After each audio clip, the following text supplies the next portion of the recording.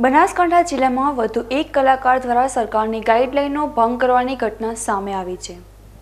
આ ઘટનાને પગલે લોકોમાં રોષ જોવા મળતા પોલીસે કલાકાર સહિત અન્ય બે વ્યક્તિ સામે ફરિયાદ નોંધી આગળની તજવીજ હાથ ધરી છે.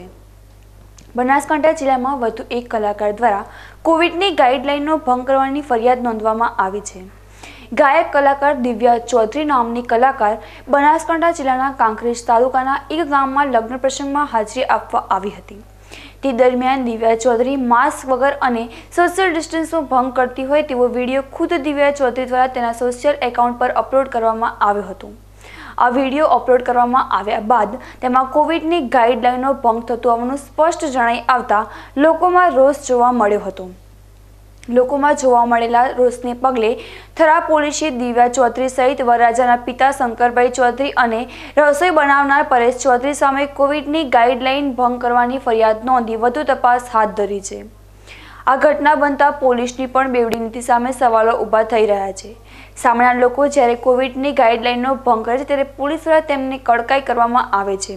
જ્યારે સેલિબ્રિટી દ્વારા ભંગ કરવામાં આવતી ગાઈડલાઈન પર પોલીસ ત્યારે જ કાર્યવાહી કરે છે, જ્યારે લોકોમાં રોષ ભભૂકી ઉઠે છે.